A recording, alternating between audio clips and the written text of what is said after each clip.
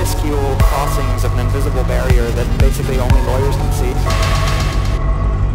Think about a, a convertible car parked on the street with its top down.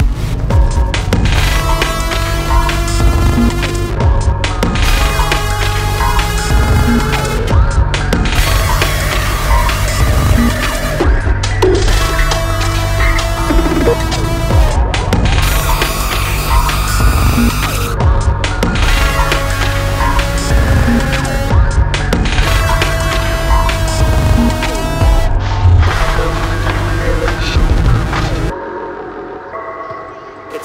take for granted that you're supposed to use doors to get from one room to the next. But burglars find a way of uh, deliberately avoiding doors. They'll cut a hole through a wall. They might even avoid the wall and cut a hole through the floor or the ceiling. They might avoid floors and ceiling and cut through roofs or come up from the sewer network beneath the city.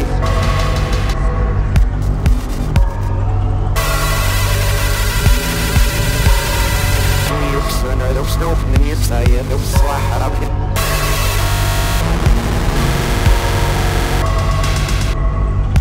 It's a more engaged three-dimensional interaction with architectural space than the ones that we limit ourselves